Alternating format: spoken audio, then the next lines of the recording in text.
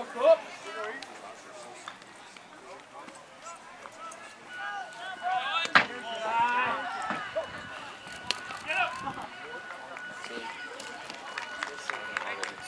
that one was.